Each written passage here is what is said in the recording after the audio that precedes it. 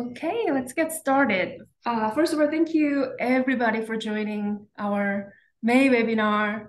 This is end of academic year and extremely busy time of the year. So thank you so much for joining. And then we today we have two speakers. And Marina Dubova is a PhD student in cognitive science at Indiana University.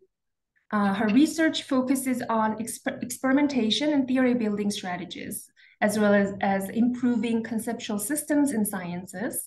And the second speaker is Abdullah Almaatouq. He is an assistant professor at the MIT Sloan School of Management. His research aims to improve collective intelligence in decision-making groups.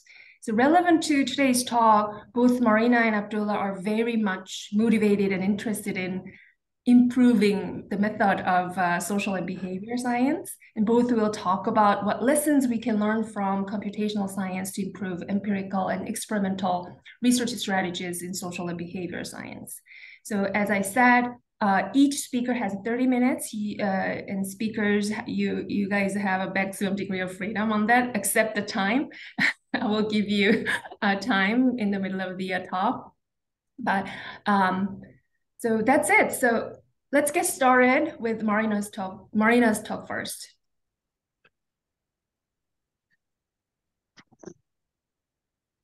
Hello, everyone. Uh, thanks again for inviting me to give this presentation with Abdullah today. And thanks for organizing this wonderful seminar series. Uh, my name is Marina, and I'm going to present uh, some of the work we've done on using computational methods to shed light onto experimentation strategies in science. So uh, I will have a lot to cover.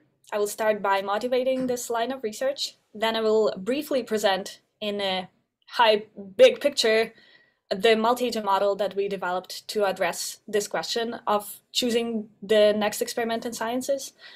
And then I will uh, show you some of the results that we have, and I hope that I will have some time to go through a conceptual replication that another group at a different university has run to um, test the results that we've gathered.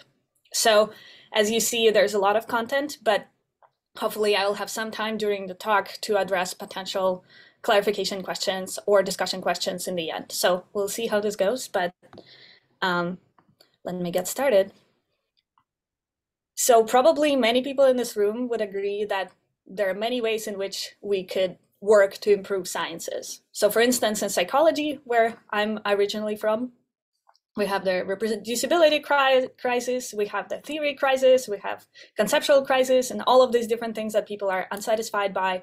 Uh, but overall, across many sciences, we could agree that uh, we could be more efficient and uh, yeah, more efficient in learning about the world uh, than we are at the moment. And uh, there are many ways that people have uh, tried to address these problems. And of course, there are many different directions we could go to uh, try to improve the sciences. But what I'm interested in is more looking at the methodological principles that we many scientists are governed by, such as Occam's razor or uh, our intuitions about what the good experiment is. For instance, some people believe that good experiments aim to falsify a theory, or good experiments are supposed to discriminate between theories.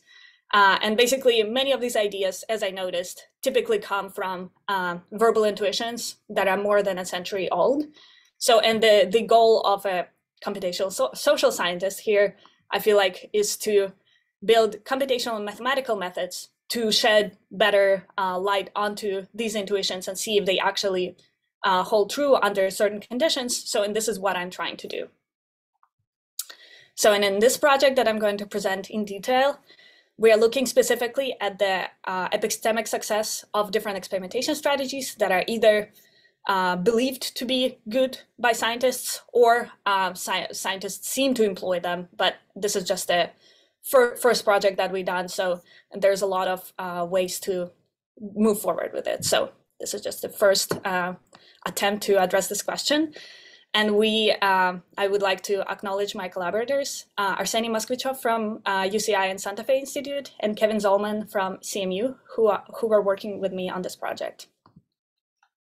So we started with the question of how uh, to design the best next experiment. And there are many intuitions that scientists have on this in this regard. For instance, there's one idea which uh, suggests that falsification is a good experimentation strategy. So the good, a good experiment is supposed to aim to falsify a dominant theory in the field.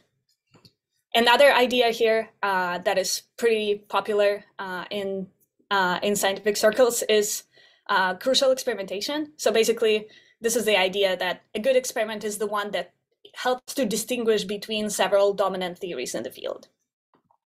So if two theories are giving opposite predictions or diverging predictions on a particular set of settings, that's the settings we need to test. And obviously, many people know that actually many scientists are engaging in confirmatory behavior. So they're trying to set up the, the experiment, e either implicitly or ex explicitly set up the experiments that seem to verify uh, their favorite theories. And of course, these are just idealistic strategies, but many people are following a, a big mix of many different factors and uh, many different heuristics. Uh, but many of many of these heuristics will have something to do with at least some of these principles. So, and we wanted to computationally test and, and see whether these strategies help scientists or agents to learn about their environment. So for this, we developed the, uh, a computational multi, multi-agent model in which the agents are engaging in both data explanation and data collection, which mutually inform each other. And this, uh, this whole process is, ha is happening in a social setting. So, and I'm going to uh, dive into the details of the model now. So this is a big, big illustration of how the model works. Uh, it has many moving parts. So there are agents, they're building their theories and updating their theories based on new data. They collect the data uh, from some ground truth that we are seeding, and um, they could communicate either their theories or their results. And I'm going to tell you a little more about these, uh, all these components now. So uh, the way the model works is, uh, first of all, we seed some ground truth, which is basically the problem that the agents are supposed to learn about as, uh, as scientists. Uh, and the ground truth in this particular model is some high dimensional space of potential observations that are distributed in a particular way. So we wanted to keep this as uh, broad, uh, as broad intuition about the ground truth as possible. So what we did we simulated, um, in this particular case, we simulated multivariate Gaussian distributions with different degrees of complexity. But basically what they represent in a high dimensional space is either some sort of uh, features that tend to co-occur with each other. So for instance, here you can see that aliens' memory capacity is one dimension, aliens' brain size is another dimension, and they tend to co-occur and there, there might be some clusters which change the patterns in uh, under which uh, the features co-occur, and there may be many more dimensions that have different uh, relationships to each other. So the other way to interpret the ground truth that we were seeding is some sort of distribution of causal outcomes outcomes of causal experiments that a scientist might run. So for instance, if uh, one dimension we could, for instance, um, we could interpret one dimension as a causal dimension of potential experiment that I could run. For instance, I could run an experiment under which I'm trying to causally improve participants' mood in the psychological experiment. And then I'm going to observe a number of other dimensions, which would be the dependent variables, such as increase in participants' memory score or some other things. And basically, these would be co-varying. There, there would be some structure in how the dependent variables are related to independent variables. So this is another way to interpret this multidimensional space uh, with some structure in it. So basically that was the ground truth that the agents were supposed to learn about. And the way the agents sample the observations from the ground truth space in this model is by conditioning, um, conditionally sampling from the high dimensional space by picking one value along one of the dimensions. So for uh, so in particular, uh, they would they would choose a dimension that they would like to vary and they would pick a, a value along this dimension and all the rest would be sampled from the underlying ground truth. So the agents have some control onto what they see. They could engage in some uh, active learning. So they could choose to sample selectively from this region of the space or this region of the space and they will see the samples that are conditionally generated from the ground truth distribution conditioned on the value on the experimental value.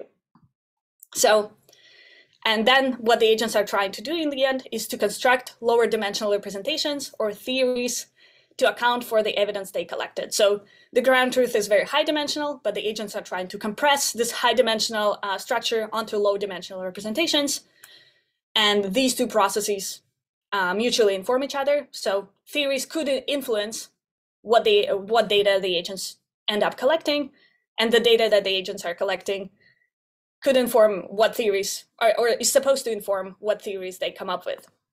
So and again, the goal of each agent is to construct a lower dimensional representation that captures as much information about the higher dimensional ground truth as possible. And I will dive a little more into the detail here in a moment. So this is again how the model works, or a big picture. There are agents, they communicate, they're updating their theories based on the data, and they they conditionalize the data that they see based based on uh, some part of the ground truth they choose to choose to hold fixed in a given experiment.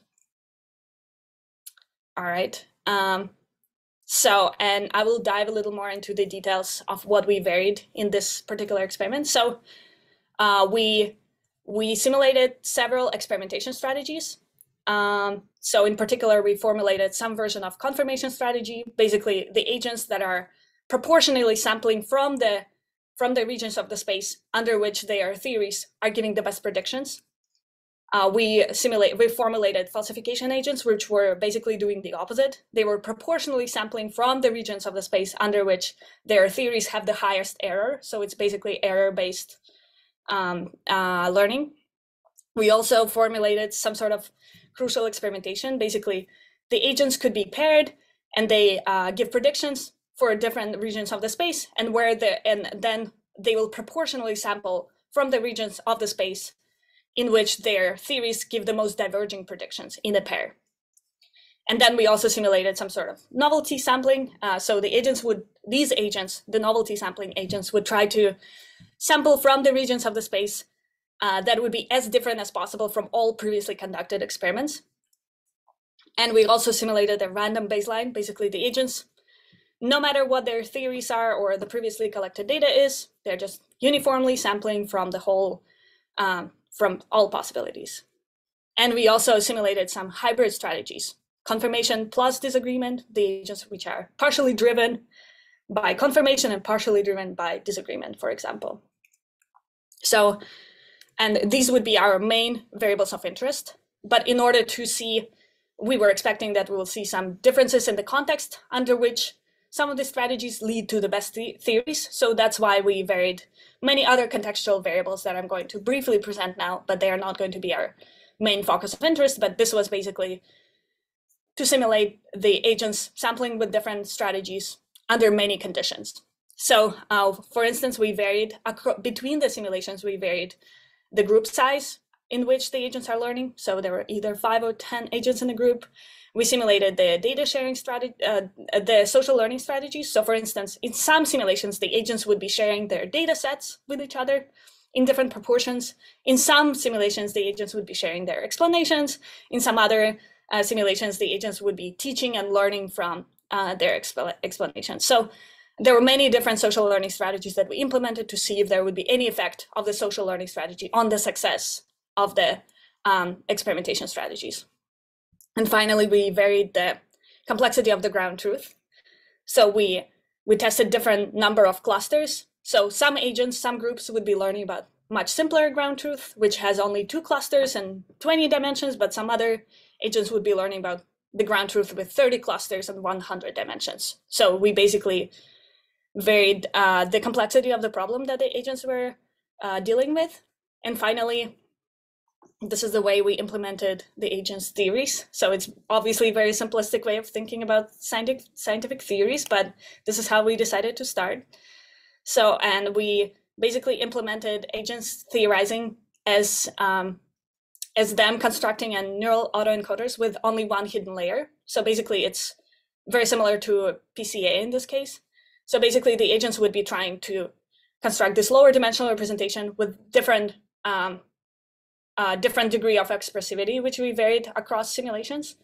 Uh, so some agents would be constructing simpler representations and some agents would be constructing a little more complicated representations with, with three or six inner neurons. But basically they would try, what neural embeddings are trying to do is basically construct a bottleneck if the information, the higher dimensional information is passed through this bottleneck, as much information as possible is preserved and you can retrieve it from uh, the output layer, which in which decodes some information that is hidden in the in the bottleneck.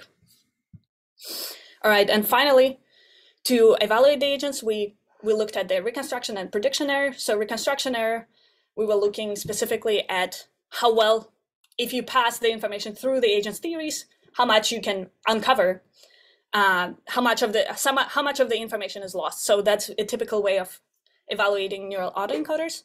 But the other, uh, another metric we developed, another task, was uh, the agents which were trying to predict unknown dimensions based on the known dimensions. So for instance, imagine you know uh, what kind of weather it is today, but you want to predict what day it is, or the other way around. You know what uh, what season it is, but you want to predict the weather today.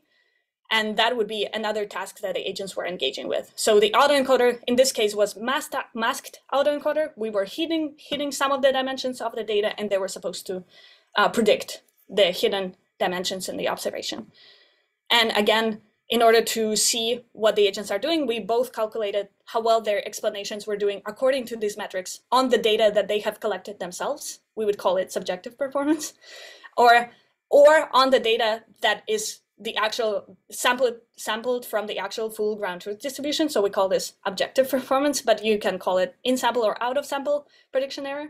So basically, the how well the agent's explanations are doing based on the data they have collected themselves, and how well they're doing based on the full ground truth distribution if we sample from the original problem. So, and just to go into some of the results that we've gathered. So in the first experiment, we varied all these contextual conditions, uh, which resulted in more than 10,000 different simulations of the model. Uh, and we looked at the learning results of the agents following different experimentation strategies across these contexts. And if we look uh, at the base, base effect, uh, at the main effect ac across the contexts, we find the following picture. So here, I'm just simplifying the results, but basically what I'm showing is the ranking of the strategies according to their subjective performance. So on the top, you see the, the strategies that do, that do better according to how well they accommodate the data that the agents have collected themselves. And we see that confirmation strategy is doing the best. Novelty and random are not doing as well. And um, this was basically what we were seeing in the ranking of the strategies if we align them according to their in-sample performance.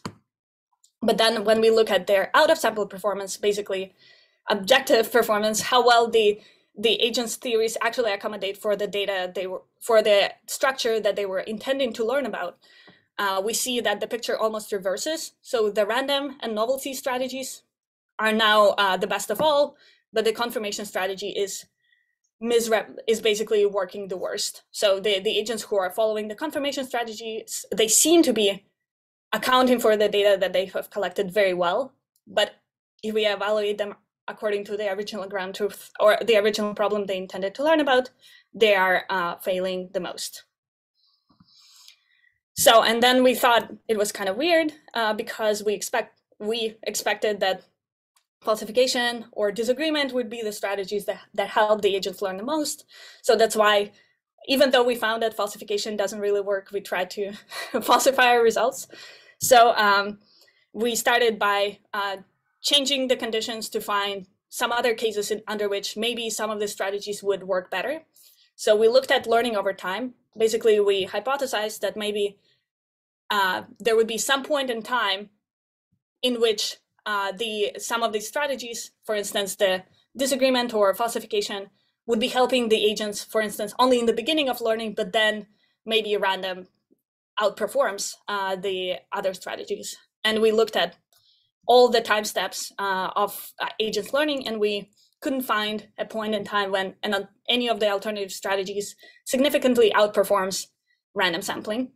So then we we hypothesized that maybe because we see these agents with some random theories. Maybe if we pre-train their theories, these theories could guide them better towards better data points. So what we did we pre-trained the agent's theories with randomly sampled um, data points from the ground truth to a different degree.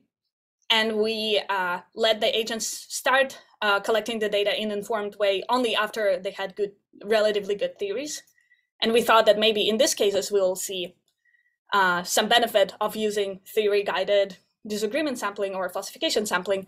And we found that if we pre-train agents theories, we find that confirmation works a little bit better than everything, uh, a little bit better than uh, how it worked before.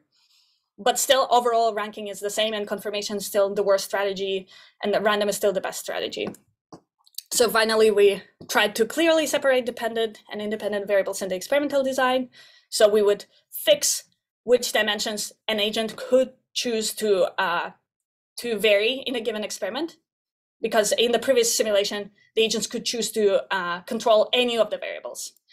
Uh, but in this particular case, we decided to fi fixate them and see if this would uh, lead to any changes in the results. And what we found is that here now novelty and random seem to lead to the same quality of the theories, but all the other rankings is the same. So again, random is either the best strategy or indistinguishably good strategy from in, one of the best strategies, basically. So, and then finally, we tried to analyze the agent's experimentation behavior with a set of information theoretic, theoretic and behavioral metrics. So uh, I will link the preprint and we have a lot of analysis there, but I'm going to show you only two metrics that we thought were uh, most explain, uh, explaining the results the most. So basically, we, if we rank the, the agent's behavior according to representativeness of the samples that they uh, collect. So by high, we would mean the, the agents who are collecting the samples that are very representative of the ground truth have high likelihood to appear in the ground truth. Low would mean the agents are collecting some really weird data points that have almost no probability of actually occurring if you sample from uh, the ground truth. And if you look at the diversity of samples, basically comparing how different are uh, the agents collected data points from each other, uh, we could see that random strategy is the one that combines high representativeness and high diversity of sampling. Whereas, uh, for instance, confirmation, confirmation agents are zooming into very like very highly probable portions of the space, but they uh, they stay there and they don't explore at all. Whereas novelty strategy uh, leads often leads to high diversity of samples, but sometimes low representativeness of samples. So overall, just to summarize the results, it seems like theory-guided experimentation creates an illusion of epistemic success by introducing a bias that prevents the agents from efficiently learning about the target space of phenomena. Random experimentation enables, on the other hand, enables the agents to develop the most representative accounts for the ground truth across all the studied contexts that we uh, we uh, tested. And this was kind of a weird result and some people got interested in it and in particular one group got interested in replicating this result because it really seems controversial and counterintuitive. And this is the group at brown university autonomous Re empirical research group. And they were developing a different system. They were developing a one agent system that would be uh, could be used to potentially uncover the uh, to do both theorizing and experimentation and potentially uncover some uh, some laws uh, in psychology or behavioral sciences. So this is a really interesting research. I recommend you to check out uh, their system that they're developing. But basically, to replicate the to replicate our work, what they did instead of focusing on very uh, not very interpretable uh, multivariate distributions, they focused on things that in psychology we consider our fundamental laws. For instance, prospect theory of decision making is something that psychologists have uncovered, and it has a particular functional form. And uh, basically, their question was if the data comes from these laws and not from the multivariate Gaussian distributions, can these strat- which strategies would help the agent to uncover these laws in the most efficient way? So basically, they kind of looked at the ground truth that is more similar to what psychologists think they are studying. And they themselves implemented these different experimentation strategies uh, which included random, novelty, least confident, basically the agent who's sampling more from the regions of the space under which it's least confident about, uh, falsification and model comparison, similar to our crucial experimentation, and they simulated theory building with logistic regression, which some people would also think is kind of more similar to what scientists, or more interpretable theories that are more similar to what scientists are engaging in. And their results in, in brief. Um, so basically here you can see this mean squared error of the theoretical accounts over time. And uh, first, if we look at the decision-making or prospect theory uncover, uh, recovery, we see that falsification is actually leads to the lowest error. So basically they found that there's a strategy that works better than random. But however, in all the other cases, they found that random is either doing the best or uh, it's indistinguishable from a set of best strategies. And in fact, if we look at falsification performance, which once for one context outperformed the random strategy, we find that it was significantly worse than the ran random strategy in all the other cases. And the, the other uh, strategies were either worse or indistinguishable from the random strategy. And also they found that um, random experimentation resulted in a high diversi higher diversity of collected samples than, than all the other strategies. So just to summarize the results, uh, it seems like theory-guided experimentation is very risky. It might work in some cases, but uh, yeah, it might not work in many cases. Uh, random experimentation seem to facilitate the development of good theories across many contexts. And finally, on the meta uh, meta insight section, we it seems like what seems to be a good approach is not always actually a good approach. So, for instance, for the um, confirmation agents, they might seem to be doing uh, really great at explaining the data they have collected, but in fact, while in fact misrepresenting the ground truth. And finally, generating more data that is well explained is not the same as learning about the ground truth, uh, which probably we all knew, but this is just one more meta uh, uh, computational in, uh, result that suggests this. And finally, these results obviously have many limitations. For instance, we uh, there are many other reasons to prefer theory-motivated experimentation that we did not explore, such as experimental cost. Perfectly random data collection is impossible in practice. And um, the tested strategies, especially in our simulation, were not validated against real scientists' behavior and structure of the problems that they are trying to solve. And this is uh, one of the reasons I'm super excited for Abdullah's talk, because I think his work has a lot of um, a lot to teach us about what uh, what the environments are and what the actual scientists' strategies might be.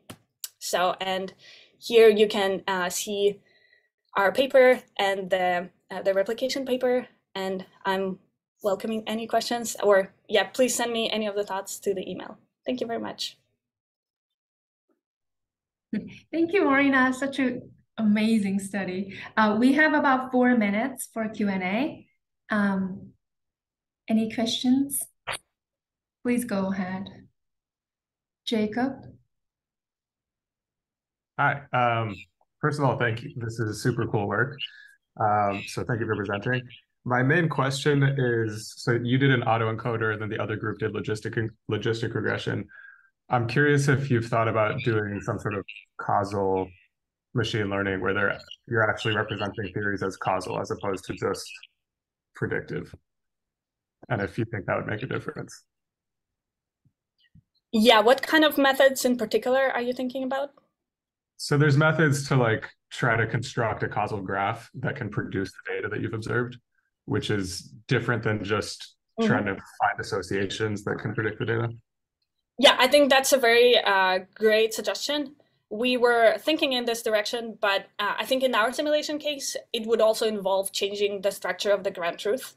Maybe we, we were also thinking about potentially having the ground truth being generated by a causal graph run, versus the probability distribution in a high dimensional space. So that's a really promising direction to go.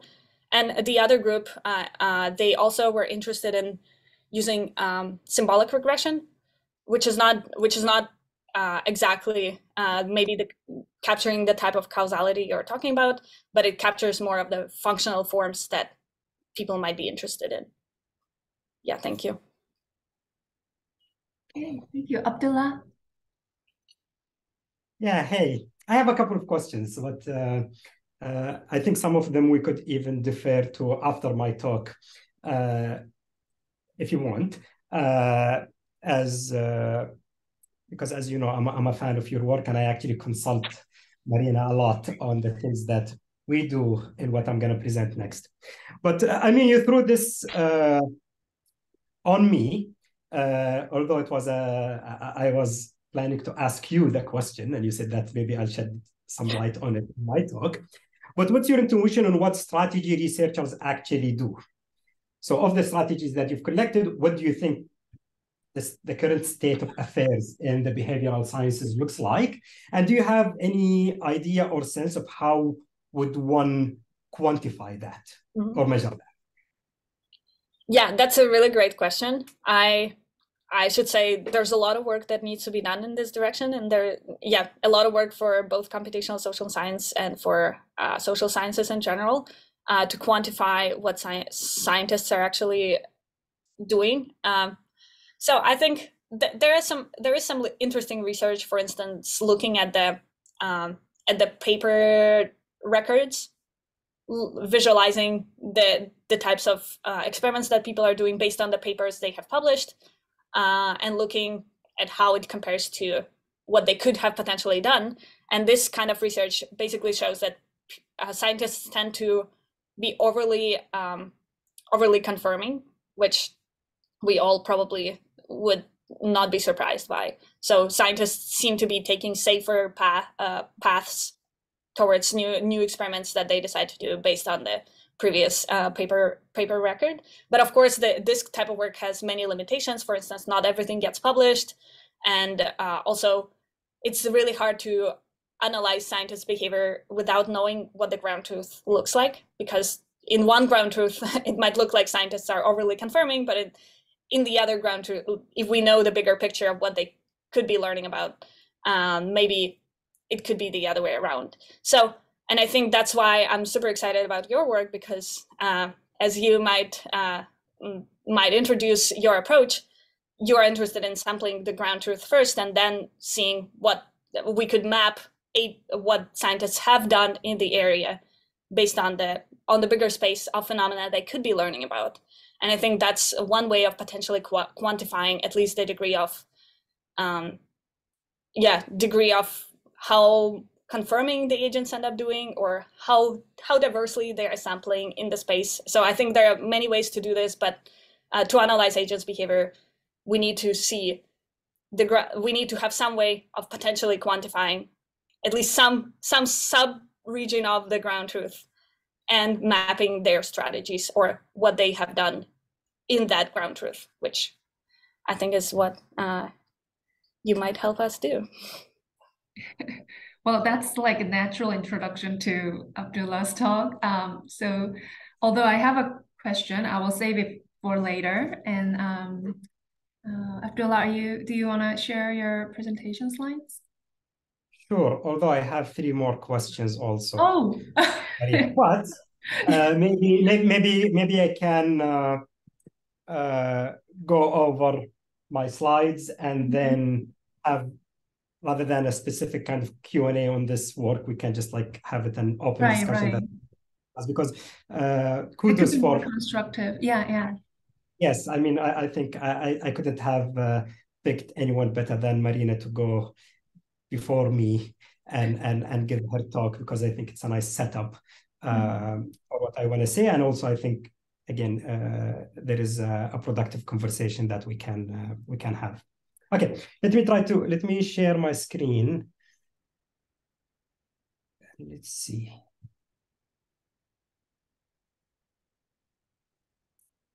Looks fine on your screens? Yep. Okay.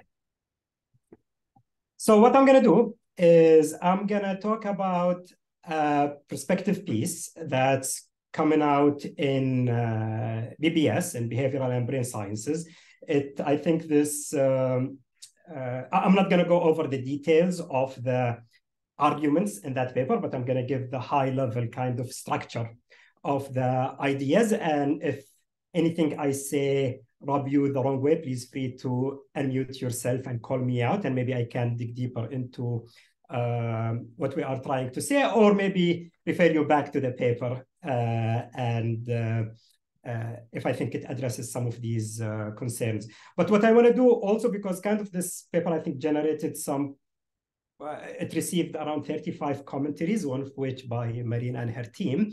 Uh, but there was also some passionate pushback, uh, which if we have the time towards the end, I would like to kind of pick your brain on how to address them or whether you share that, uh, that that view that we've uh, gotten on this paper. So actually, I have a month to respond to the 35 commentaries that we've received. So towards the end also, if you have any thoughts or ideas on how to address some of the questions that came up, that would be great. Okay. Um, so half of the talk is going to be about this. The second half, which is the perspective piece, the second half is going to be examples. So we're actually doing it uh, although some of the commentaries argue that it can't be done.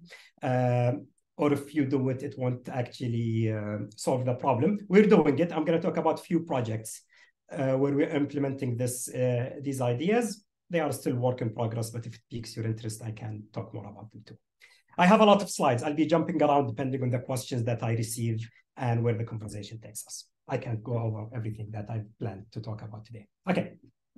With that introduction, uh, maybe a little bit of uh, the backstory of this paper or this approach, which kind of started when I was a graduate student at MIT, and I was like really um, uh, fascinated by collective intelligence and team performance, and when individuals outperform even the best individual in the group. And I wanted to learn more about that. At that time, I came from uh, a background in applied math and computational science, so I was doing a bunch of like modeling work. And I was in the kind of lit literature review uh, part of my PhD. And this is an area that has generated a lot of research over the past 70 years or so by people in many, many different fields, from social psychology to to uh, management science, to computer scientists. So many fields, many areas, many venues who are asking questions related to group performance. And uh, some of you might resonate with the experience that I had, which is the more I read, the more confused I was. Uh, even for the most basic questions about team or group performance, there was a very long list of things that seemed to matter.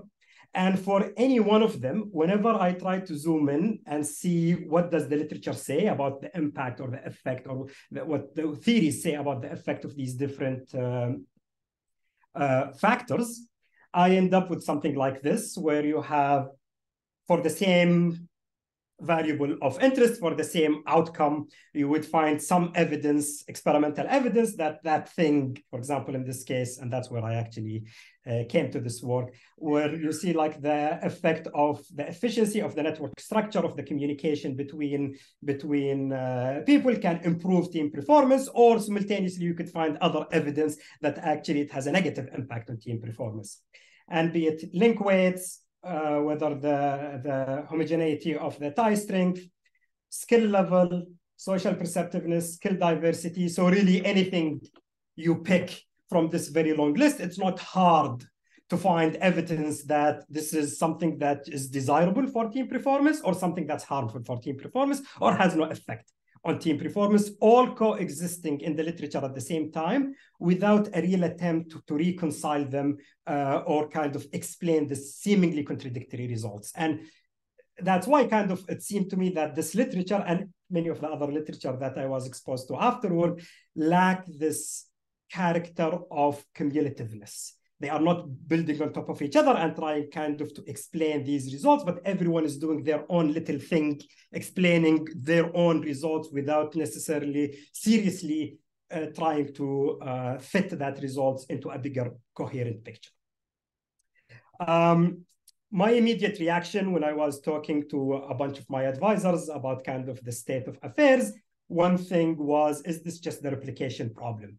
Is it that actually there is one correct answer? So I don't know, social perceptiveness improves team performance over uh, isolated uh, independent individuals, but you know we have a bunch of false positive results that exist in the literature, and once we solve the replication crisis that kind of people seem to take uh, as as uh, as a given, it will kind of everything will fall uh, into place.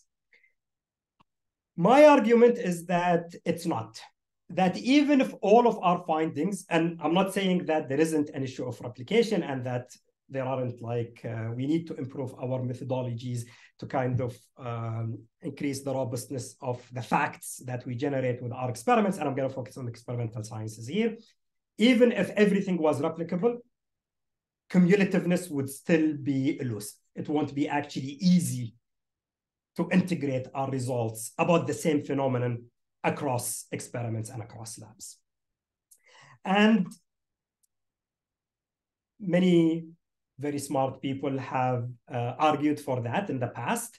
So this is only one of them, but there are many other people who kind of talked about this issue in different terms. This is just one that I uh, that really resonated with me. I'm not going to read what's in there other than Newell here describes how people usually run experiments, which is we try to kind of put things in a framework that allows you to tackle things experimentally in a binary way. So is this group has higher performance than this other group? And you get like a yes, no answer from running these experiments. But it seems that we keep asking the same questions and we don't seem to be answering it. So many people are asking the same exact question. We are setting up our experimental paradigms, asking those questions, but we don't seem to be coming up with a satisfactory answer.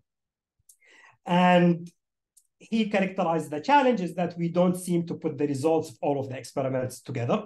So again, everything is being done in isolation, and then there isn't a coherent picture or a framework that allows us kind of to put these experimental results together. And he couldn't convince himself that these results will add up even if we had uh, 30 more years of doing more of the same. And I think, uh, and, and, this is kind of the motivation for the prospective piece we did because it's been almost 50 years since kind of Newell's uh, influential paper. And if anything, it doesn't seem that we are making progress on putting things together. So the way that I kind of uh, represent the dominant paradigm of how we do uh, how we run experiments in the social and behavioral science and kind of how Newell described it verbally. I am just a visual person, so I have kind of pictures to describe what kind of happens. It starts with what we call the one at a time paradigm. That's how we usually run experiments. And it's the criticism, the paradigm that Newell criticized. We start with posing some theoretically motivated hypothesis. So we have some kind of a theory, a set of postulates, and we put on it some math, logic, or something, and then we derive some testable hypothesis, right? And then we want to go and test this hypothesis in an experiment. But to do that, we have to pick some sort of a setting, some sort of a situation, some sort of a context for which to run our experiments and some specific populations. So what I'm defining as context as one dimension here, it's actually a very high dimensional thing that encompasses many things like the exact you know, um, uh, modality of the response, uh, the definition of the situation that the participants that they are going to be in, the incentive structure, uh, the task that they are going to perform, all of that kind of defines this context. So you pick some context to run your experiment and you run it on some particular population that is characterized by some distribution, be it uh, undergraduate students at a particular university, MTurk, some online representative population. You have, uh, or sample, your sample comes from a population that has certain characteristics about it. So you pick some population and you pick up some context to run your experiment. And then you run the experiment and you get your results. And the results are typically something like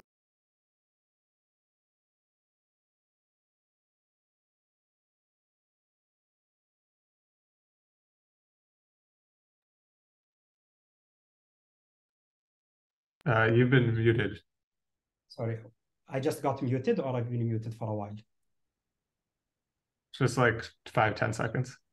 Okay. for five, uh, five seconds, yeah. Yeah, so what I was saying is that then when you design an experiment and you pick some sort of a context, some part, some kind of a population, these are high dimensional things, you run your experiment and you get some statistical relationship between independent and dependent variables.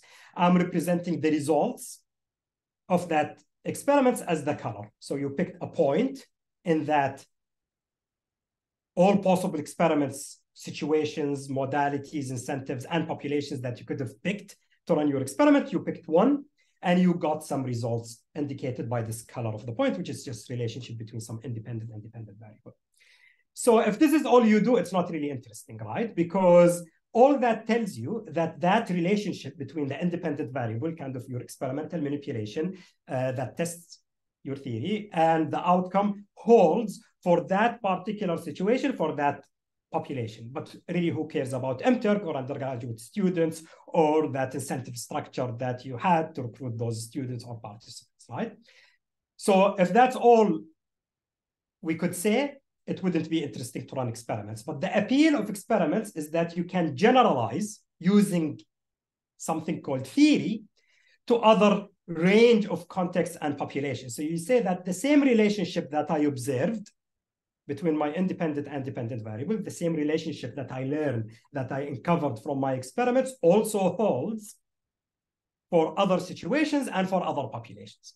And what allows you to do that, to go from that point to that colored region, is theory. It allows you to assert or claim that my results are beyond the exact experiment that I run.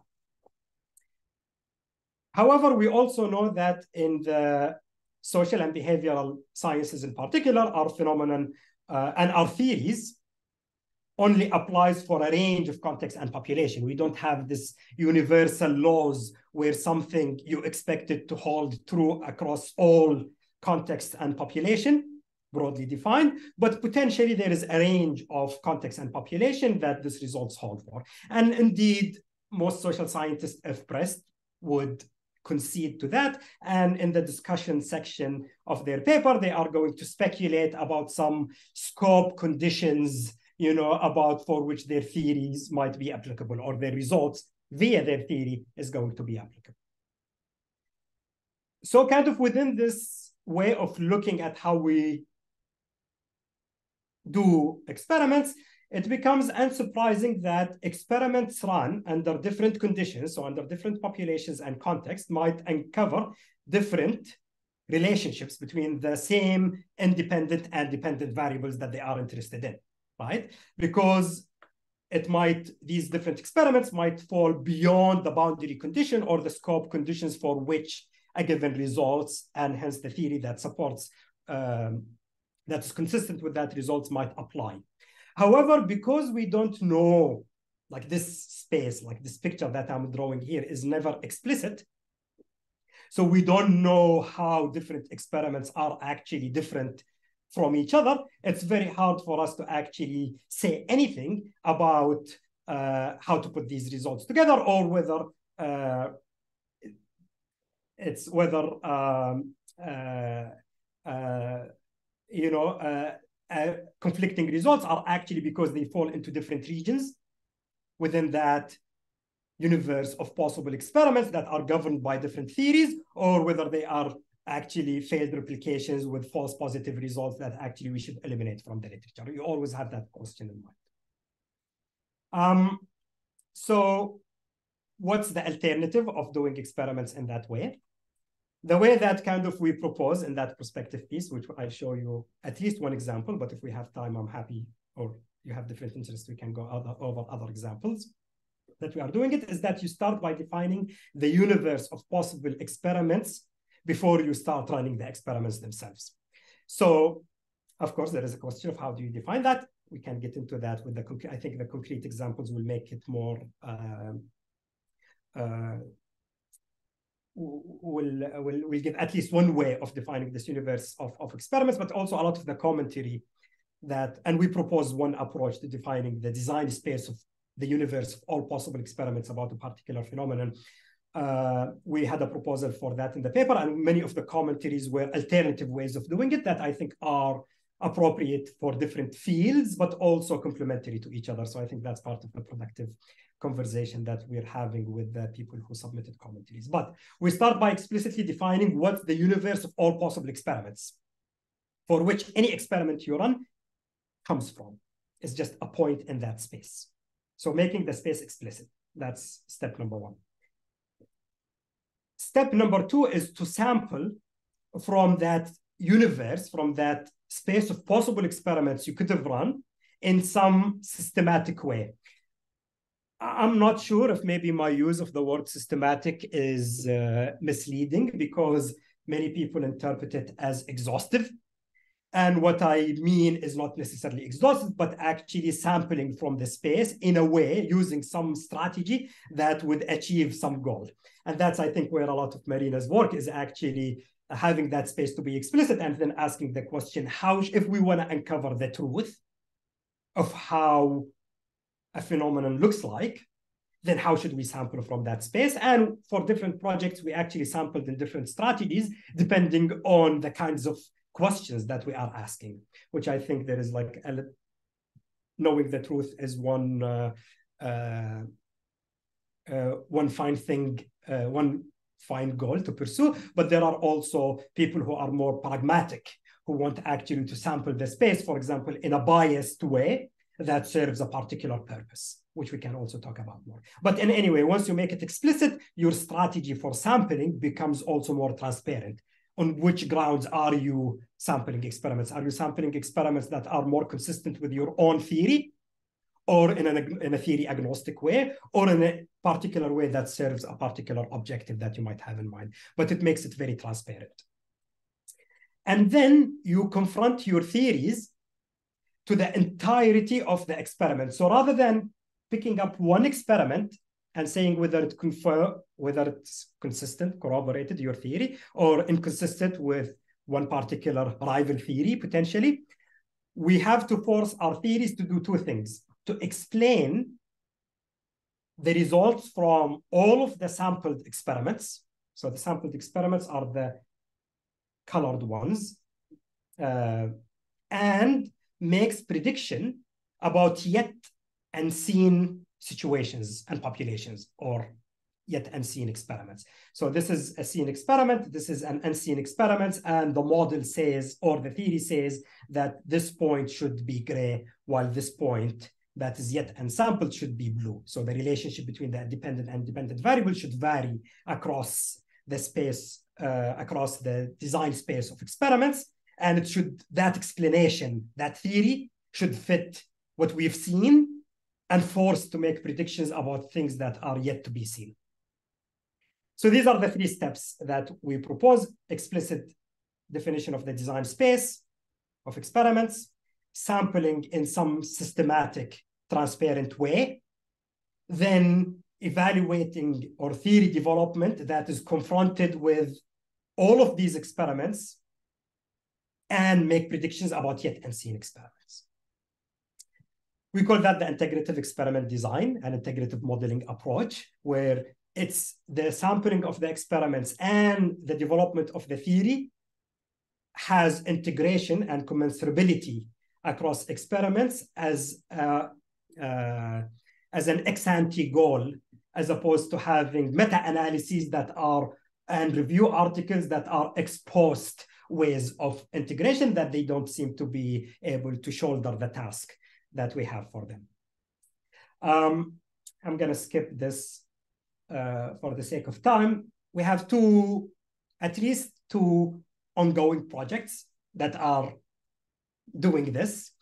Um, uh, it was really hard for me to pick which one to present. I have the other one as backup slide. So if you're interested, because they are different in different ways, even shows you the differences in doing integrative experiment designs in domains that have well-established paradigms versus domains that are a complete mess. Uh, but uh, let me just pick one now and, and, and see where the conversation takes us. So the first project is kind of the continuation of my PhD project. Do groups outperform comparable individuals? five years later after my PhD, and including three years of my PhD, I still don't know the answer. I know the answer. Maybe now we're getting close when we are done with this project. So the question, are two heads better than one or too many cooks spoil the broth? The hypothesis is that, of course, the answer, like everything else in the social sciences, it depends. But how can we actually know what does it depend on? And how can we have a theory that allows you what are the conditions under which two heads are better than one? So what we did, we went into the literature and we looked at every experimental task that anyone has used in the past 50 years. If it's uh, that in itself took us took a couple of years. Uh, as I said, this is an ongoing project that's been ongoing for almost seven years now. Uh, so we went and extracted those, and there are many challenges in how to do that, but we extracted those tasks from the literature. Then for each task that has been used in an experiment in the literature, we use the union of existing theories that describe tasks in team performance literature. This is just a list of a bunch of tasks that we kind of abstract them in a way that allows us to create these uh, dimensions that come from these taxonomies, frameworks, and theories. And we have 23 dimensions that come from the union of those theories. And then we coded each task across those dimensions. So for each task, and we have 71 tasks, and here what I would what I call task is a task class, not a task instance. Each, so for example, something like checkers is a task class. Within it, we can generate many instances that vary in their characteristics within that uh, task class, if you will. So we have many more task instances, but we have 71 task classes. We operate at the instance level, so our space is much larger. And we have 23 features. So each task is described by a vector of 23 dimensions. I'm a very visual person again. This is how it would look like in two dimension. Everything we're doing, we're doing it in the full 23 dimensional space. So don't ask me the first two principal components, how much of the variance they explain. We're not using them. This is just kind of to derive the intuition of what's happening in that higher dimensional space. So you start seeing the distribution of tasks that people have used in the literature. So you can see that tasks like word completion given starting letter is closer to the task of word construction from a subset of letters that's close to word completion given part of a word. And they are quite different from summarizing a discussion, which is closer to writing an ad, which is close to writing a story, which are very different from checkers, for example. So you have like this distribution in the task space of like, you can imagine every task is a point in that high dimensional space. And you can see the distribution of what people have tried so far in the literature. So now we want to ask a question. Do groups outperform comparable individuals? That's kind of, we define the design space of all possible tasks to answer that question. Now we sample, there are three possible answers. I'm making them here categorical, but actually we measure them as continuous variables, the degree for which teams are better or worse than individuals, but there are three possible answers. It's qualitative answers. No synergy, the individuals, the group is no better than the average individual within the group. Weak synergy, the group outcome is better than the average individual, but worse than the best individual. Strong synergy, the group output is even better than the best individual in the group. These are like the three qualitative potential answers with the three possible colors. We pick an experiment, we pick the room assignment task, we implement that experiment. We have people come in the lab or online. They have to assign students uh, into dorm rooms. They chat with each other. They are working on the problem simultaneously. We find that actually there is no synergy. So the answer to that question is red. On the room assignment task, there is no synergy then one would be tempted to say that actually there is no synergy for all tasks. That's kind of how we typically run one single experiment. And then in the title, it will never say there is no synergy on the room assignment task on MTurk participants, but it will say something like, oh, process loss overcomes synergistic gains on complex problem solving tasks, right? Because you want to generalize, you want to say that my results hold for other things too. That's what the title and the abstract of the paper would do, which is kind of painting the space red. However, the knowledge you generated by running that experiment looks something like this. Maybe you know something about the room assignment task, maybe other uh, constraint satisfaction and optimization problems, maybe other problem solving task, but you know very little about whether that result, whether that relationship between the independent variable, which is team versus individual, and the dependent variable, which is performance, hold in that corner in the space. So we pick that one, we run the experiment, we find weak synergy. Now we're tempted to come up with this meta theory that says for this range of tasks, process loss, communication cost, and all of these things over power synergistic gains. And that's why for these range of tasks, Steiner kind of theories apply that tells you that individuals, independent individuals are better than groups. However, in this corner in the space, the balance between synergistic gains from parallel processing and what can uh, not prematurely kind of uh, uh, converging to an answer would uh, overcome the process loss or whatever story we want to come up with. It says theories are stories, but these are stories that are consistent with these two data points, but they make predictions about all of these experiments that we haven't sampled yet. So we sampled that one over there to test our narrative, our theory so far.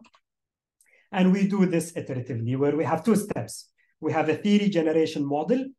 This can be scientists. This can be a machine learning model, a causal, uh, a causal machine learning model or not. Can be armchair theory. We don't care. Someone is generating theories that will be evaluated for their fit on the experiments that we ran so far and will be evaluated on their ability to predict the effect of intervention on yet unseen experiments. So this model gets rewarded when it makes correct out of distribution predictions. And I say out of distribution because they are under intervention, right? We are running experiments. We, we have an intervening variable. And then we have another model that we call it the adversarial theory testing model. I revised the wording after Marina's talk. It's just a theory testing model that gets rewarded for selecting the experiment so far in this in this uh, project at least that gets rewarded for picking an experiment that falsifies the theory generation model right? So we have a model this is what should happen. This is where the model is least certain or it's very far in the design space so let's go pick that one. Until you end up kind of with this characterization of the space so some experiments we run, some experiments we didn't run, but we have predictions on that we can, and that's our meta theory of what are the range of tasks for which you find the different kinds of synergy that is verifiable, that is falsifiable by other people. So if other researcher comes and says, oh, I think the nine dot problem, the answer can't be weak synergy because of my XYZ theory, we go run it. If we're wrong, we already pre-registered our prediction, then we are wrong and we have to update our meta theory about how to fit or how to handle that point in the design space that is conflicting with what we currently know.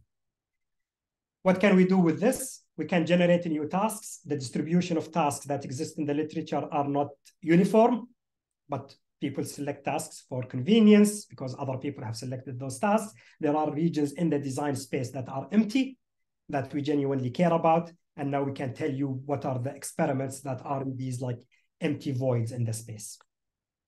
We can generate new features. So when you have two tasks that have that they are identical in the design space, they are two experiments on top of each other, but systematically exhibit different colors, different relationship between the independent and dependent variable, then that means that we are missing a dimension, a latent dimensions for which to separate those two tasks. And that's kind of where you can generate in your theories? What could explain that puzzling observation? You can examine the, examine the limits of generalizability if you run this and you find that no matter what task it is, and forget about only team tasks, but whatever your design space is, if across all the dimension of variations that people think matter, the answer is the same, then you found some sort of a universal law, which is saying that this relationship holds for all contexts, for all population. We don't believe we live in that world in the social and behavioral sciences. Then if you find something like this, then you have theories of the middle range. So there are theories that have range of applicability. So this theory, prospect theory, applies for this range of risky decision-making tasks. However, something like reinforcement learning or something like expected utility might work for this range of context and populations. And then you have this meta theory that tells you uh, under which conditions each theory apply, and that's kind of theory of the middle range. We're finding some suggestive evidence that we might be in this world. If you end up with something like this, any manipulation, any perturbation to any context and population, you get a completely different answer. Then you are in the tough situation where all theories are wrong, because we're sampling in this theory, agnostic theory, union way. We're not favoring one theory over another. Another, all the theories are wrong. They are not capturing the things that actually matter. Or you are in a domain where there is no hope for theory. And we have another perspective piece uh, currently under review in PNAS, where we imagine if we are in a situation where there is no hope for theory, what would social, social science look like? Because there is no hope for generalizability or learning from one situation to another because this context sensitivity is extremely high. So what can we actually do? And we talk about that, which I think is kind of an interesting uh, exercise, but also in some domains, maybe we're actually there. I think, I conjecture. Anyway, we built a bunch of frameworks that are open source that allows you to kind of contribute to the varying aspects from contributing to defining design space of certain phenomenon. So for the task space, the 23 dimensions, we actually are in the process of publishing uh, a web platform that allows you to contribute in new dimensions to see, to see where your experiment lives in the design space, what are the empty regions that you might want to sample, where do you want to challenge the predictions of our model. So at the construction of the design space or at the uh, sampling from the design space or the integration of results, people can contribute. And we uh, build these frameworks as well as the execution of these experiments um, a bunch of different tools, one of which I think the one that had the highest investment, at least from our side, is Empirica. Uh, that allows you to kind of define design spaces and sample from them in a systematic way, um, which integrates with sampling strategies. So there are a bunch of open source tools like Ax for, which I will ask you about, Marina, this Bayesian optimization agents for sampling from the design space. What would that look like in your experiments for particular use cases? And integration with crowdsourcing uh, and volunteer science platforms. Anyway, that's my talk. Um, I know I'm a little bit uh, over time. These are a bunch of questions that we tried to address in the perspective piece, but kind of they came in different ways or forms in the commentaries that we can dig deeper into any one of them. Um, and yeah, we can open it up for question and feel free to ask me or also Marina question because I know that I'm a little bit over time too. Oh, super great. Thank you, Abdullah. Um, let's open up uh, the discussion. So um, anyone who uh, has questions, just like go ahead. Um,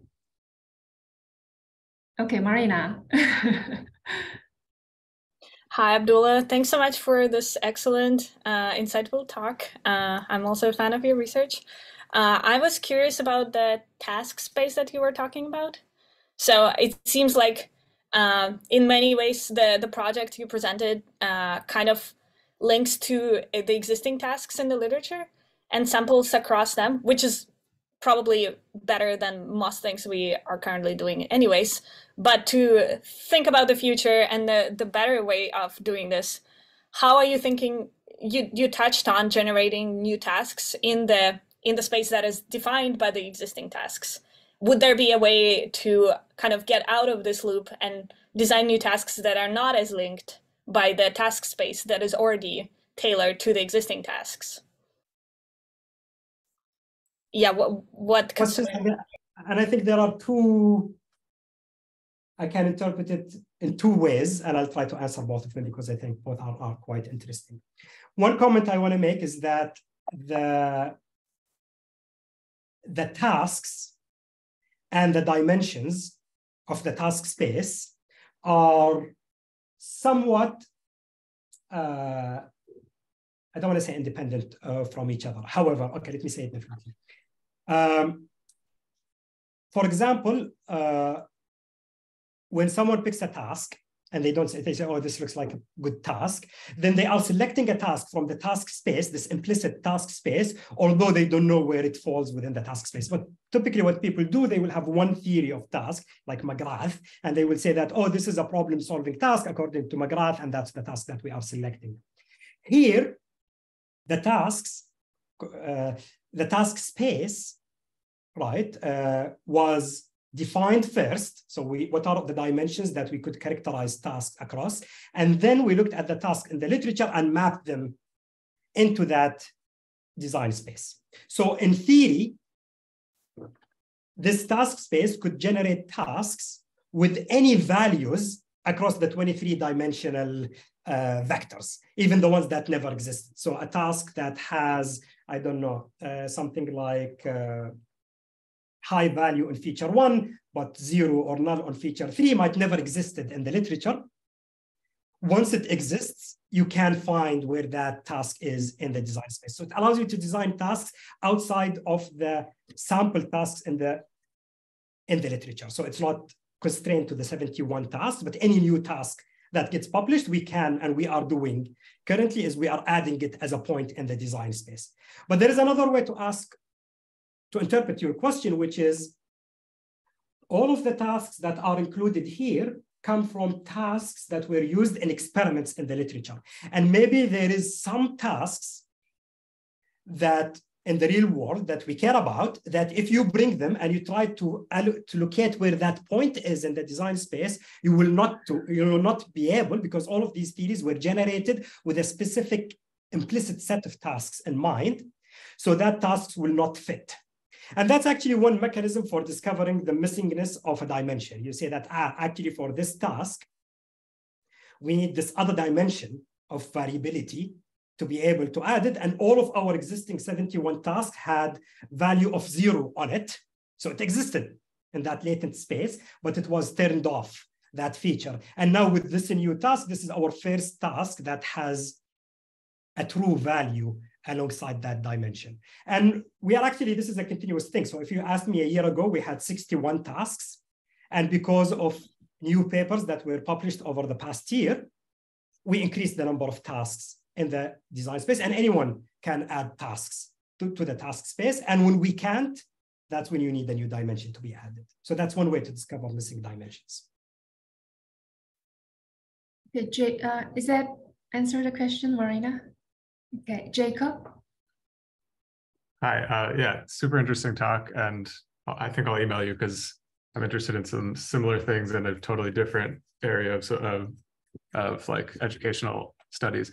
But I'm curious. So one thing that I was thinking as you went through this is how easy or difficult it is to come up with new features and how the difference in the social sciences from the physical sciences. So like I, I read a chapter that's from an old book on mental modeling that was called When Heat and Temperature Were One. And it's a historical study of these Italian experimentalists who had not yet differentiated between the concepts of heat and temperature. And they had a self-consistent model of heat transfer that didn't work because of that. And then eventually people, you know, created a new feature in your language of, oh, actually there's these two different things called heat and temperature. But it's, I'm wondering about, it seems to me maybe the difference with the physical sciences, we don't have good intuitions and, and creating new features or, or expanding our ontology is very hard. And maybe in the social sciences, it's too easy. Like we, we all come up, we can easily come up with with new features, so to speak. And people also like use the same words to mean very different things. Mm-hmm. So I'm curious how you're how you're guarding against that. Like, are you doing inter-rater reliability on coding your tasks for features and making sure they're actually distinct and all, all of those, those those sorts of considerations? Well, this is this is an excellent excellent point and we struggle with it right because we do think that the social and behavioral science are domains. And in the paper, we describe as, as um, uh, an area of science that has high causal density. So there are many, many factors, dimensions that actually interact with each other in a very complicated way to determine the outcome. And that's why, you know, we never believe that there is uh, what uh, Andrew Gelman calls true zeros, right? So anything that plausibly could affect the outcome does affect the outcome under certain conditions, some of the time, under certain range of possibilities and conditions, you can make it happen, right? It's everything that could happen will happen at least some of the time under certain kinds of conditions. Um, so it is an area of very high kind of what we call high causal density, what Paul Meehl would call it the crud factor, um, what other people have called it ambient noise, it's exactly as you said, it is much more complicated. And I think that's why our methods and theories has to match the complexity of the phenomenon of interest. We couldn't expect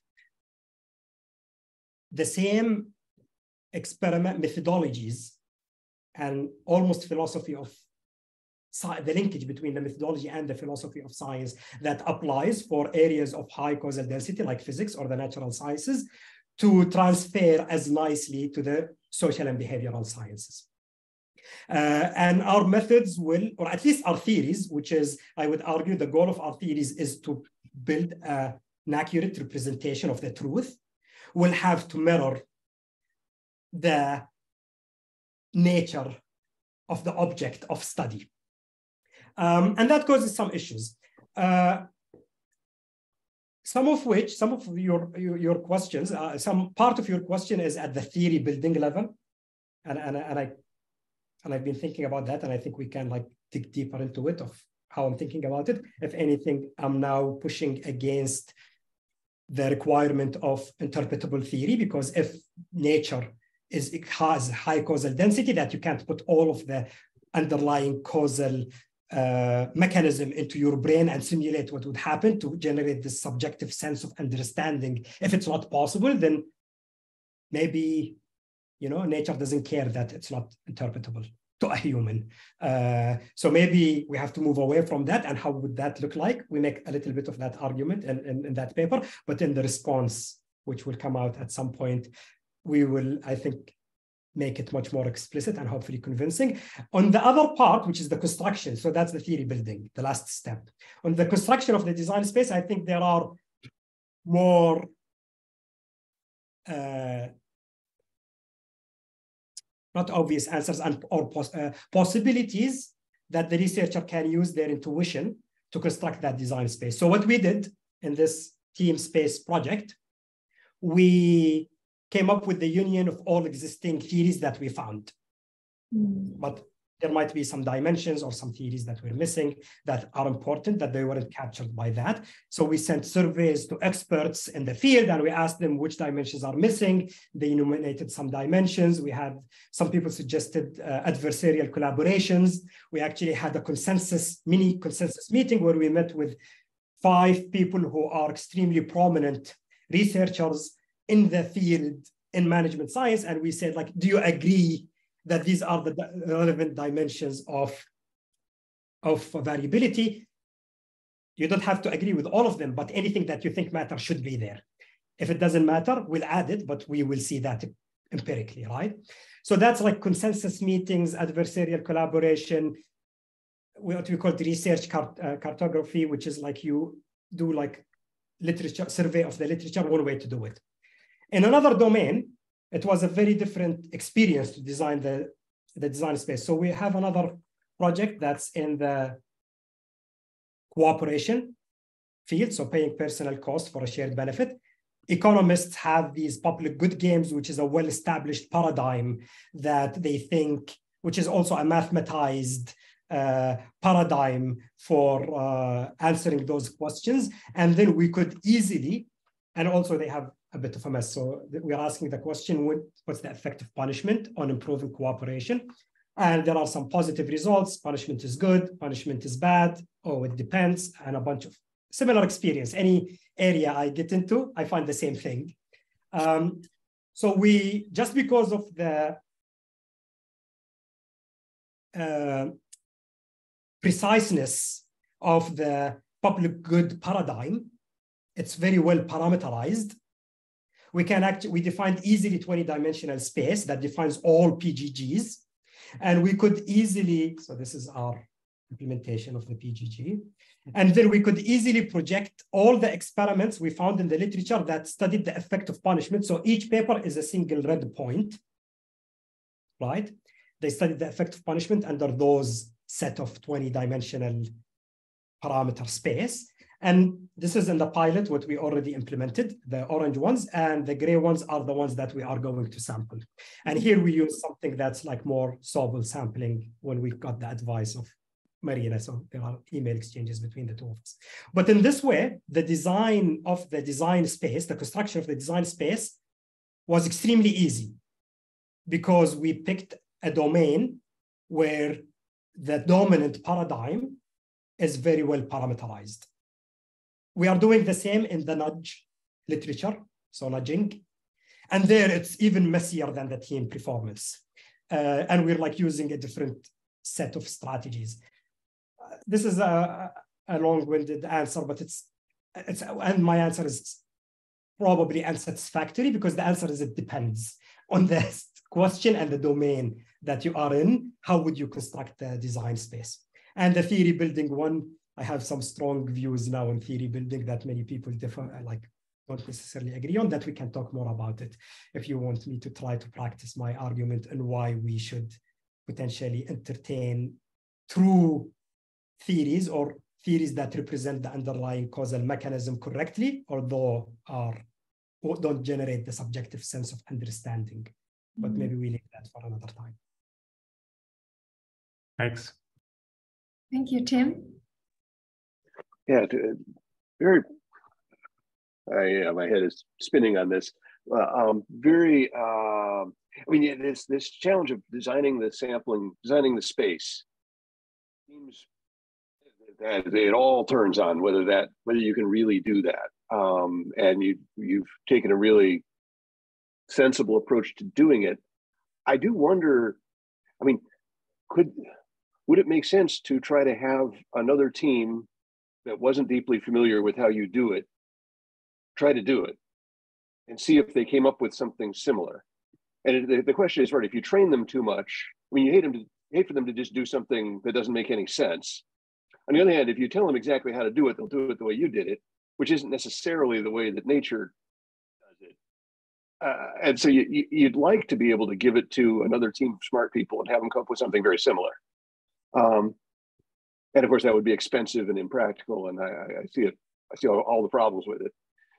The other thought is I wonder if, and this is statistically dangerous, you could assume there is coherence, that things that are near each other in the space should produce similar results. And then use noisiness, you know, basically try to sort, do clustering on your results, and then try to figure out what the dimensions would be that would give you a coherent clustering but then of course you're you got nothing to test against. You're you're really doing using the data for for hypothesis creation and not for testing. And data is precious. Anyway, a couple of thoughts. Now, these are excellent, excellent points. So I do think again, like the construction of the design space, which is this first step, uh, can get a little bit messy. Uh, but I think it's necessary. I think it is necessary if we want our conclusions and our work to be commensurate with one another to talk about how similar or different the context and the population for which we are testing our theories look like. Like that's that's going to be a requirement. And doing that post hoc with meta-analyses, review article, and just thinking really hard is making very slow progress for this cumulativeness and baking it into the design. It's a requirement is something that will like we argue that it will, it will make meaningful improvements.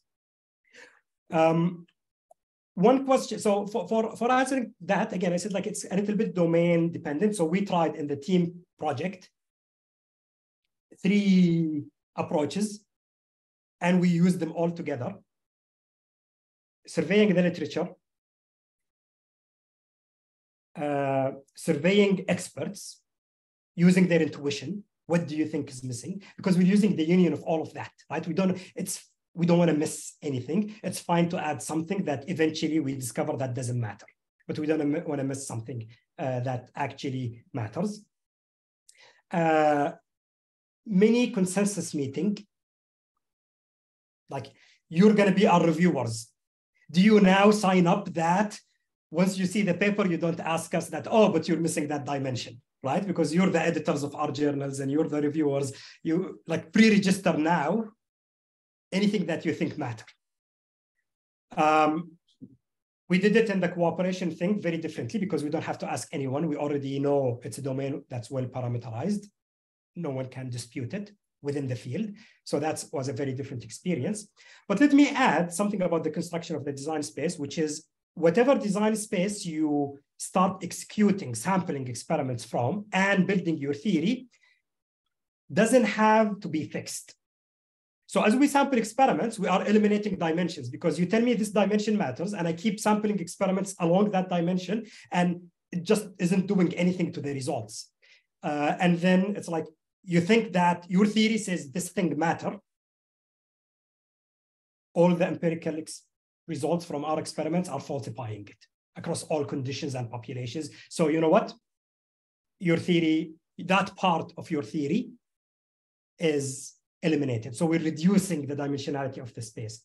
But also as we are sampling experiments that are dense in the same area, and we get chaotic results, results that are very sensitive to perturbations in that region, then we step out and we say, oh, you know what?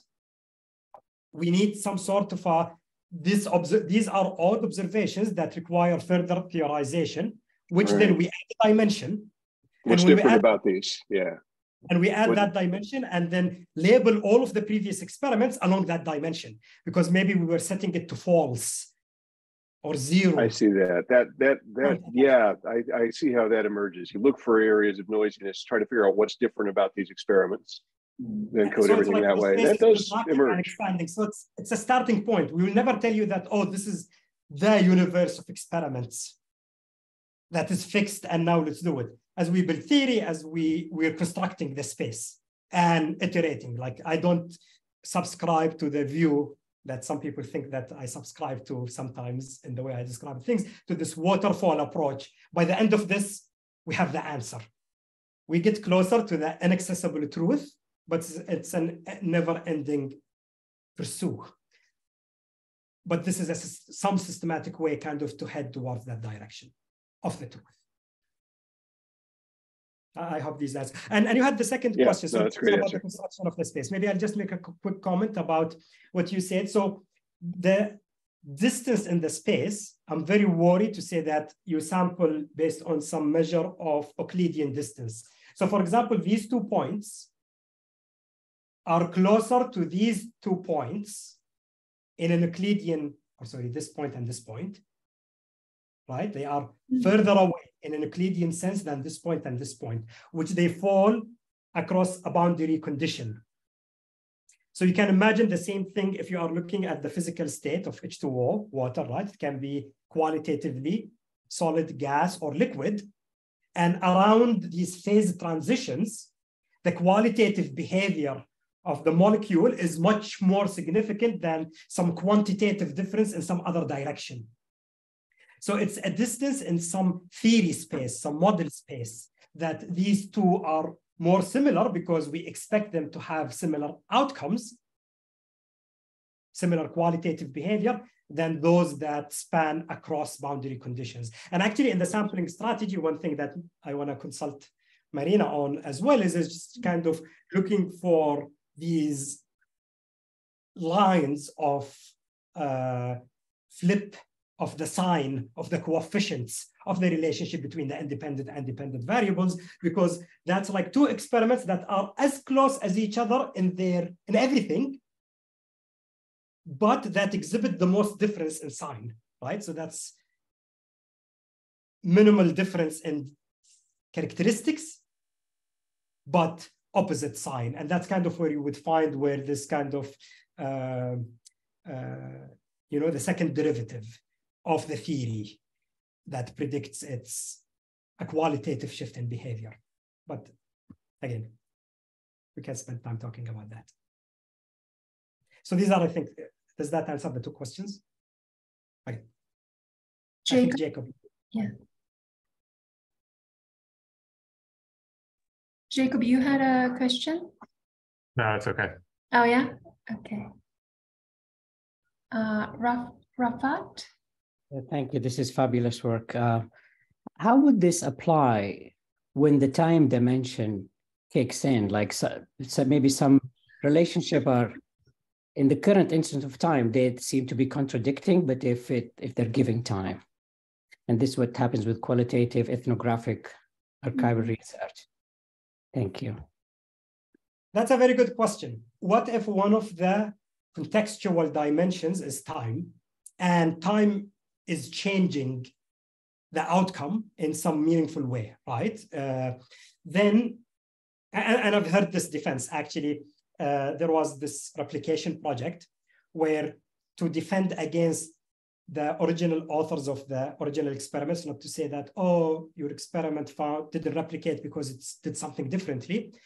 They spend a lot of time in the lab of the original author and they said, do you sign up that this is as close as it's like this is an exact replication. We know that there isn't an exact replication, but this is as exact as it is to your Nature paper, and it was a paper published in Nature. The author said, yes, I agree. They ran the experiment and it didn't replicate. What did the authors say? Our results were true in 2010 or whatever, but the world has changed in meaningful way that even if you fixed everything that you could fix, it's no longer true. We concede to that. So there is this question of like temporal validity of a result. I view it in something like this, like this limits of generalizability. If you believe that the domain of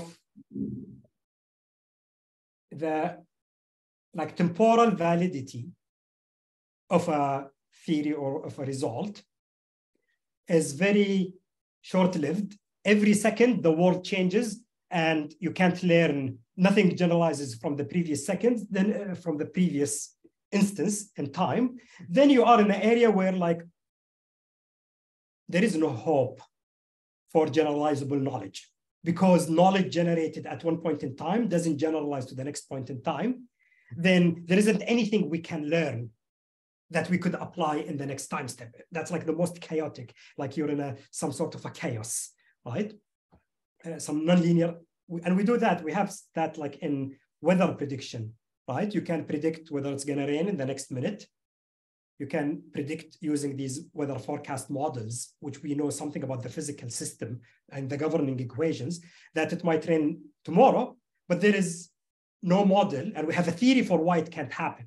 There is no model that can tell you that it's going to rain on Boston on July 2nd, 2024, or something like that, because the error propagates and this path dependency thing makes it makes some kinds of predictions impossible. And we have a mathematical theory for why they are not. I think if we are in a domain where we think that happens we have to know that we are in that kind of a domain where if if temporally stable then that's fine you know and i can talk actually about how facebook deal with that problem they run the same like they do i i i now Meta, they have like the strategy where they run the same experiments continuously, although they know the A-B test which arm is better than the other for getting people to click on an ad.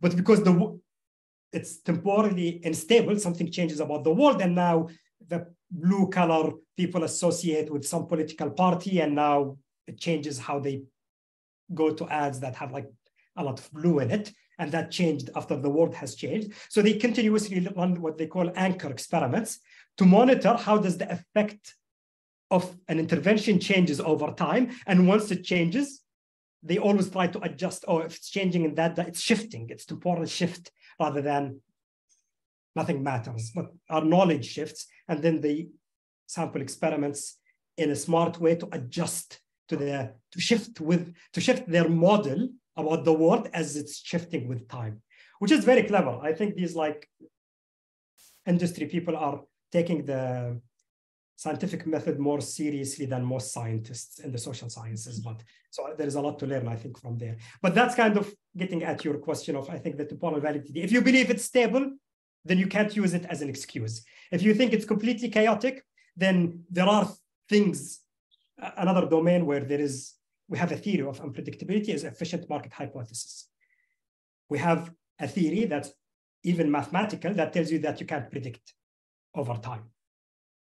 Whether that theory is right or not, because maybe empirics don't, people are systematically beating the market, so it's not exactly right. However, if you believe there is no hope for theory, then we should have a theory of unpredictability like other mm -hmm. fields. Why? If you think things are temporally stable and shift slowly, if they are completely stable, then it doesn't matter. If it shifts, then there are strategies to deal with that. And the time scale for the shift actually matter for how much our results generalized across the dimension of time. Mhm. Again, I, I feel like I'm giving very long answers to some really, but, but these are like very important questions. Fascinating. Fascinating. It's actually stimulating. So I'm, I'm, I'm just like thinking out loud as you're asking those questions.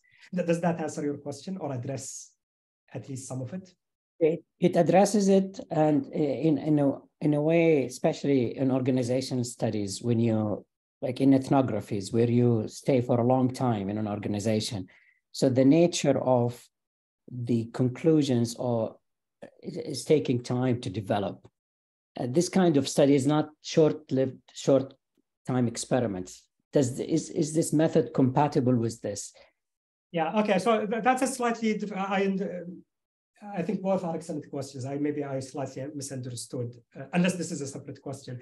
Um, so this is not. So when we are talking about nudges, those are not. They are like ethnography. So you want to nudge employees to exercise more, and like these mega uh, studies by like Katy Milkman at Wharton and colleagues. They run for a year, for example, because you want to see like whether in the control and treatment, given that voucher or that intervention works or not. Similarly for vaccination. So there are, this is not incompatible with outcomes that are that are not lab experiments. This is not specific to lab experiments. That's one way to answer it, which is where people can come in. And we are actually running lab experiments that are blurring the line between what is lab and field.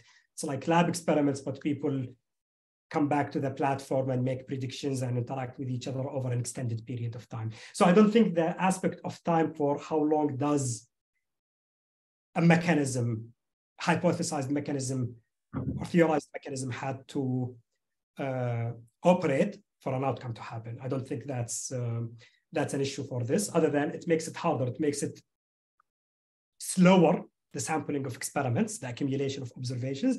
So if anything, it's important to be in a well-defined design space such that each experiment is maximally informative because each study, each empirical observation is extremely expensive in labor cost, not only.